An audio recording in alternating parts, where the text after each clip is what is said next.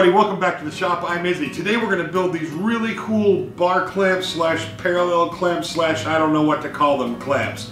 These do a couple of really cool things like get rid of the need for biscuits or dominoes, make sure that your glue up is nice and parallel, and give you really easy access to get material in and out while you're doing your glue up. Check it out.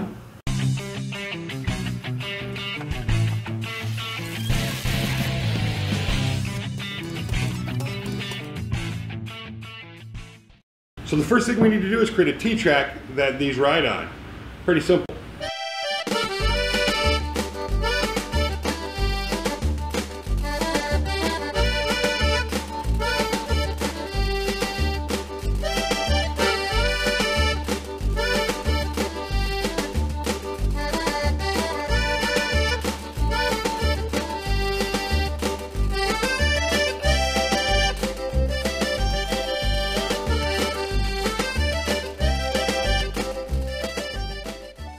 Next up, we need to build these. These slide down the T-track.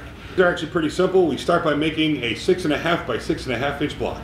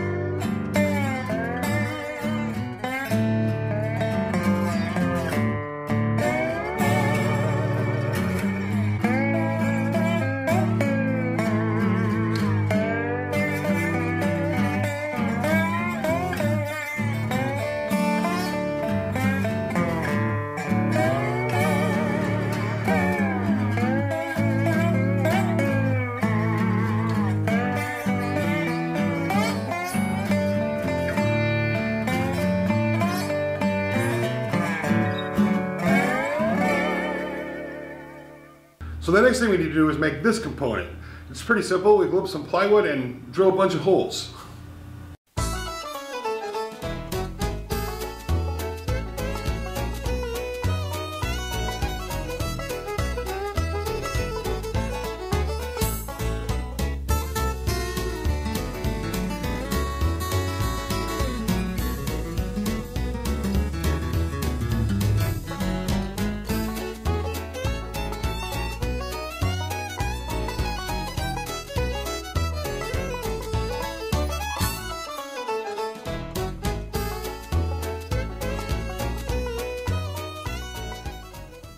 All right, so we have our T-track done, we have our blocks done, and we have our top bars done. Now we need to create a way to tighten these whole clamps down. And to do that, we're just using a 3 8 bolt, a piece of dowel, and a nut.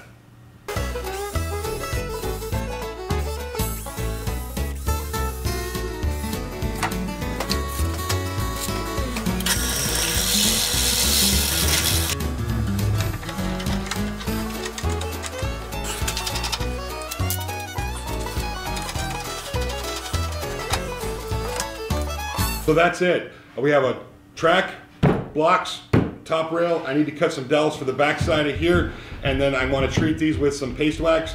Now you could use packing tape as well. Any, any parts that are going to be exposed to the glue up, you'll want to treat. Otherwise you'll have wood gluing to uh, wood. So voila, see how they work.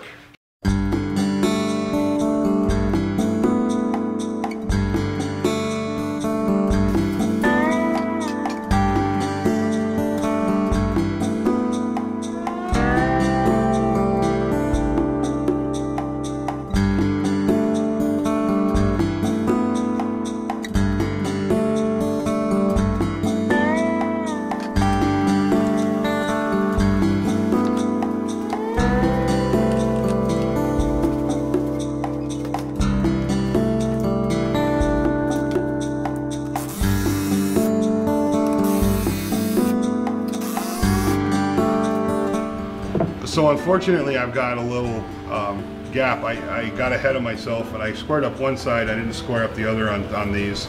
So I've got a few that have little gaps, but they're tight at the bottom and they're gapping at the top. So I guess that means that the job is, the clamp is doing its job.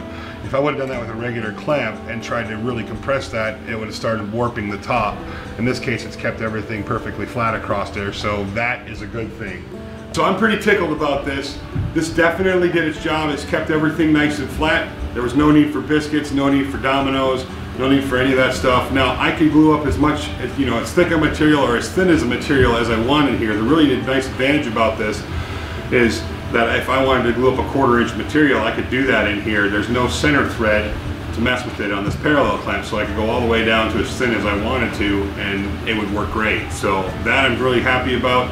I wish I would have done a better job of making sure that those edges were um, square, but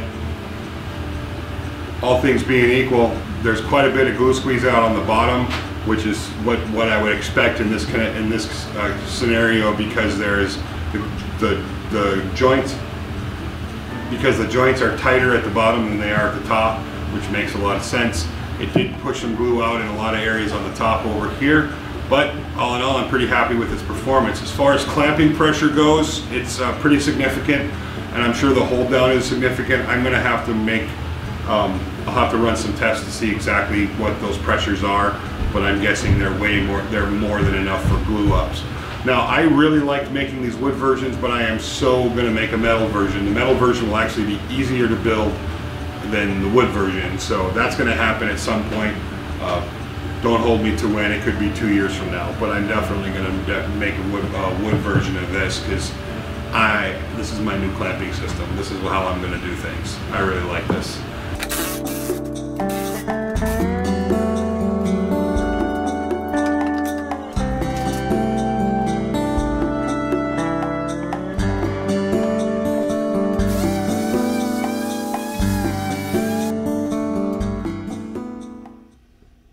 A quick pass with some 120 and this thing is just gorgeous. A couple more light sandings with some 220 and I'm ready for finish on this top.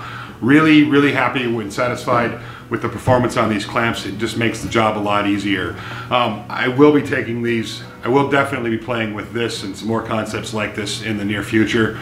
Uh, I'm just thrilled with them. This is definitely going to be my new clamping system for the shop. Anyway, guys, thank you so much for watching. I really appreciate it. If you enjoyed this video, please share it. If you know somebody who can use a system like this or some ideas for a system like this, please share the video with them. And of course, if you enjoyed it, give it a thumbs up. And if you're not subscribed already, I'd invite you to do that. Remember, when you hit the subscribe button, hit that little bell notification next to it. That way you actually get notified when I post videos. I'd be interested to get some feedback from you guys. I mean, what do you guys think about this? What are your thoughts on this? Really be interested to see what you guys, what your thoughts and feelings are about this clamping system. If you think it's worth it, is it too much hassle? Do you like the idea? Um, give me some feedback, let me know. I certainly appreciate the input. Um, thanks for watching, and we'll talk to you all very soon.